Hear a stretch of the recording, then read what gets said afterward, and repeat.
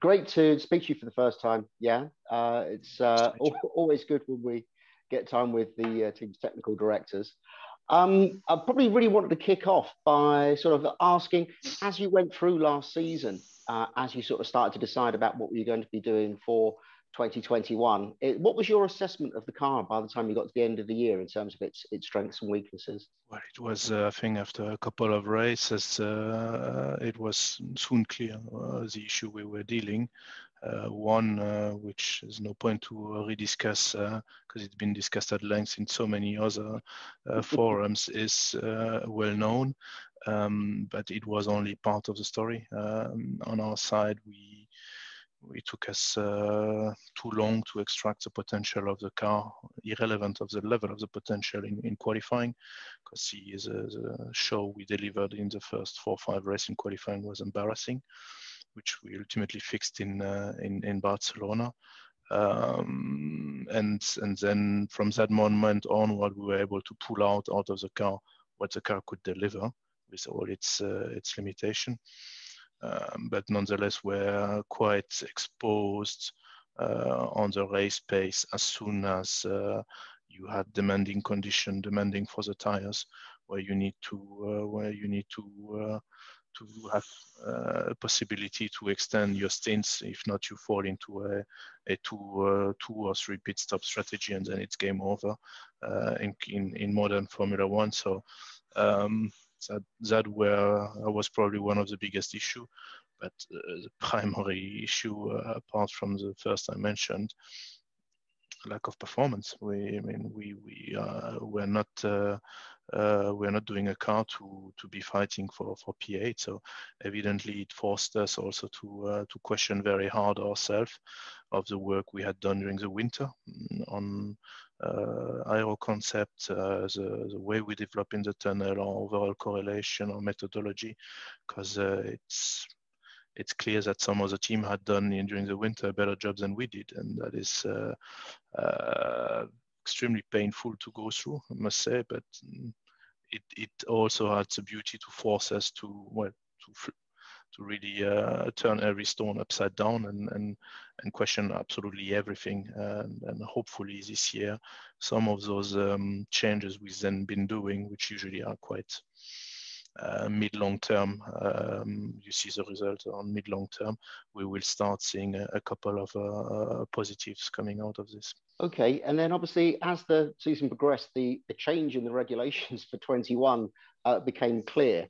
Um, yeah what led you to make your decision on where you were going to spend your token? Uh, a mix of uh, where do we think we'll find most performance, or where do we think we have most to recover, to uh, with respect to our direct competitors, but also without uh, without making a big fuss of it. Also taking into account the uh, our resources and the fact that we for 22 we would gear gear up uh, for for in 21 we would gear up um, a lot of our resources to prepare 2022 and therefore uh, we also kept in the back of our heads that we didn't want to have uh, uh, up until March, the entire company just producing the new car, new chassis, and all these things. So, so, regulation was inviting people to uh, to make choice.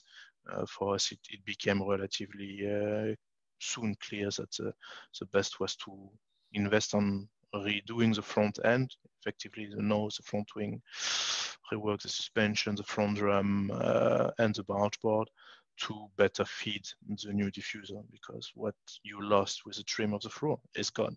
You're not gonna, uh, that surface that is missing because of this uh, uh V trim, which is the most um, uh, penalizing uh, modification for, for the aero, that's gone. So the only way you can, in our view, uh, recover or climb back the slope is to massage the flow coming from uh, coming up uh, upstream to to better adapt to the new uh, to the new topology you have on the rear. So that's that's the main driver of uh, of us concentrating on the front. Now, that doesn't mean we haven't worked on the rear, but uh, you are more limited and the rear works with what it gets from the front. So if you do a better job on the front, normally the rear is, is also happier. Mm-hmm. I think one of the things that stands out as soon as you see the new car is that the the change in the nose shape and the fact that the uh, cape seems to go to the very uh, leading edge of the nose. I mean, was that was that kind of the key part of the structural change in the nose? We had to redo the cone because we wanted to be able to maximize uh, the, the, the cape uh, and and also rework some of those uh, quite complicated internal ducts we we had, um, as well as if you, I mean, if you have a look also the, the pylon position, they, they changed. So there were quite a lot of uh, small changes that uh, were added on that, that uh, ultimately forced us to to also raise a new challenge for our design office and the ZFE group. So the other big change this year was the um, aero regulations around the floor reg, uh, the rear brake ducts, and then the sort of the Y250 in the middle of the diffuser. Uh, mm-hmm. how, how much was a penalty were those changes for you know, for you when you first looked at them? Total sum is probably more than a full year of development. So uh, the, the biggest, uh, big, the most painful one was uh, the side trim. The, the fence in the diffuser was an order two in comparison, as the, uh, the reduction of span of the lower deflector on the, the drum was also. I mean, they are, still they are still hurting, but in, there's no way comparable with uh, with the losses induced by the trim and uh, the modification on the continuity and all the devices we had along the edges. Uh, that has been gut feeling, uh, probably 80%, if not more, of the, of the losses. I'm not very good at statistics. uh, and uh, yeah, order of magnitude is, is more than what you would find during a normal winter with stable regulation. So it's been quite a big, a big blow and, and having to freeze uh, so many components of the car for obvious reason and financial reason for for the, for the industry. Yeah, I think that uh, major challenge, even more difficult to well to get uh, to climb back uh, the, performance slope on that side. Yeah. And obviously, the other thing was that so much of the chassis has been homologated for this year. How, how much sort of performance have you potentially um, not gained? I guess is the way to describe it by not being able to change things like you know the tub uh, and the outboard or the outboard suspension bits that you uh, fixed to the chassis uh, stuff like that? It's a uh, one million dollar question because by uh, one of the positives also to when you have limited resources to freeze some large component is that you force your people to concentrate on on the others. So instead of trying to uh, do a uh, seven dishes meal with uh, two cooks, which can be quite challenging, you end up having a couple of dishes lesses, and therefore you can spend more time, more resource, more quality in the other. So I, I'll never have the uh, answer. My impression was it probably on the short term helped us to um, to climb back quicker on the attrition, the, the easy parts, than, than having to uh, invest a lot of resources in redoing a tub, which is a, a very demanding exercise usually for a team because it's not only the shape, but then calculation, testing it, producing it.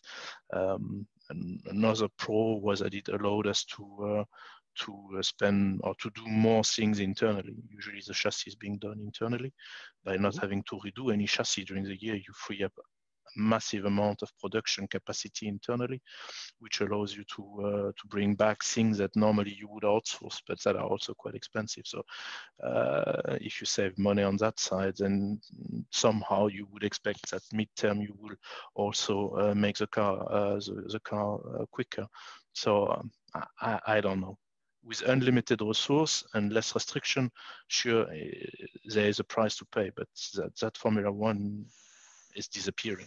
Formula One is is uh, is probably behind us now. It's about with the resources you have, which are now limited, uh, try to to uh, really make the wisest call on, on what you want to develop. And I am not unhappy to not have redone to have frozen the, the, the tub. Yeah. And are you running old tubs or are they just freshly made tubs for this year to the old molds? They have enough mileage, so we we obviously uh, checked them and uh, and when they they've been doing a, I wouldn't say a Botox session, but uh, uh we took uh, a bit of TLC and and going through QC and intensive QC to make sure they were still okay.